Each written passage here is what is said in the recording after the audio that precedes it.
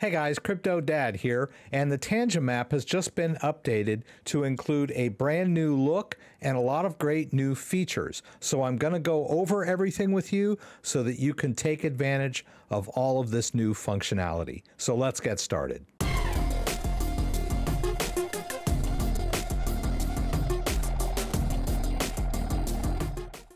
So I'm here on the Tangem homepage. If you haven't heard by now, Tangem is quickly becoming one of the most popular cryptocurrency wallets out there. It has a special backup feature that does not require you to write down and back up a seed phrase. So when you purchase a Tangem wallet, you can get a three card set or a two card set, and your complete crypto backup is contained on the cards. You've got your primary card that you use every day, and then uh, one or two backup cards. Now, this is a great solution because it does not require you to write down or manage a seed phrase, and there is no way that you can be tricked into revealing it or inadvertently revealing it to anyone else. So it's a great and secure solution for managing cryptocurrency.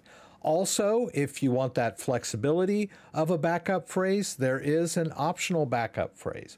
But I wanted to talk to you today about the new Tangem app.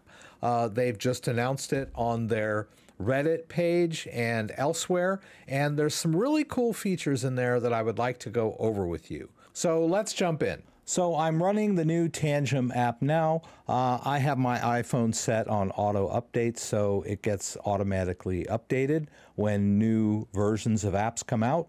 But uh, you can always go straight over to the App Store uh, and pull up an app and update it manually if that's what you need to do.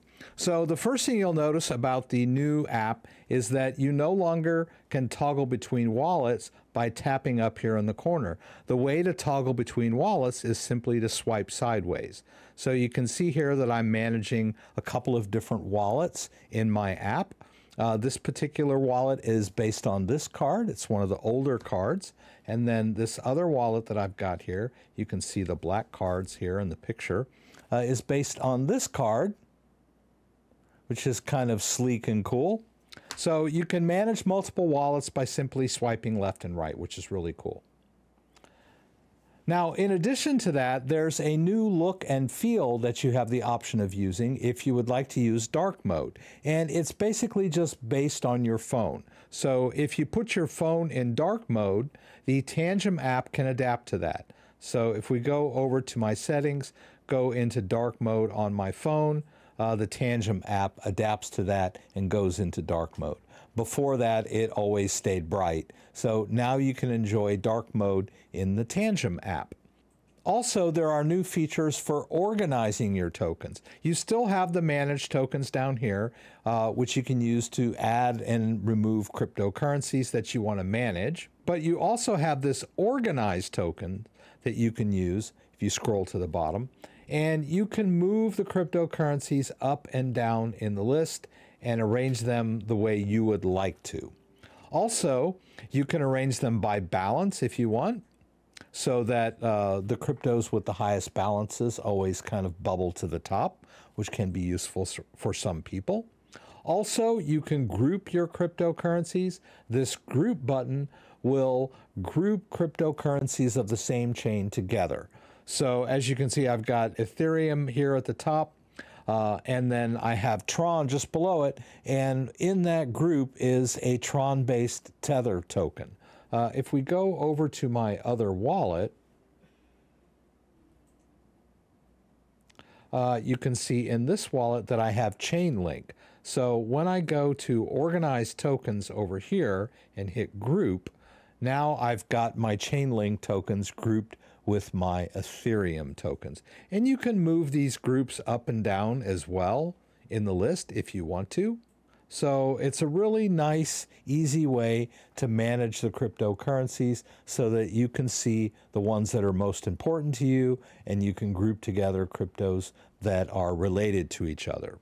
Another thing that they've added to the wallets is a transaction history. So when you tap on a crypto, you can see the full and detailed transaction history in and out of the wallet.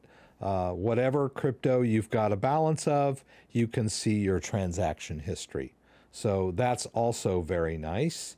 We can go over to this wallet and you can see the transaction history in my Ethereum wallet there.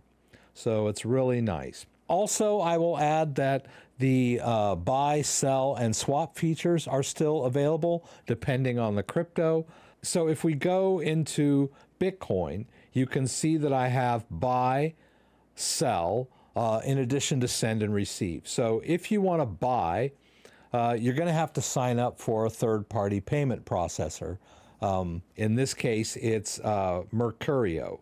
And you'll have to go through KYC to get that all set up.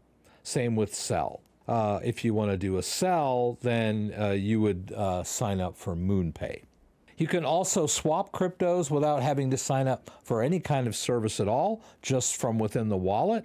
Uh, if we do that, uh, it would have to be on chain. So in the case of the Ethereum chain, if I go in here to Chainlink, you can see that I have this exchange button and it takes me into the swap feature.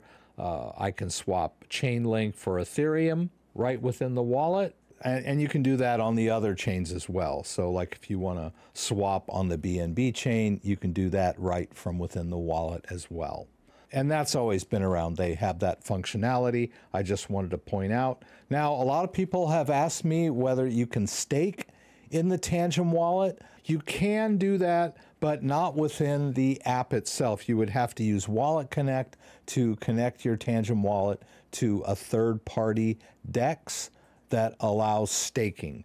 Uh, but the uh, crypto would still be secured by the private key on your Tangem card.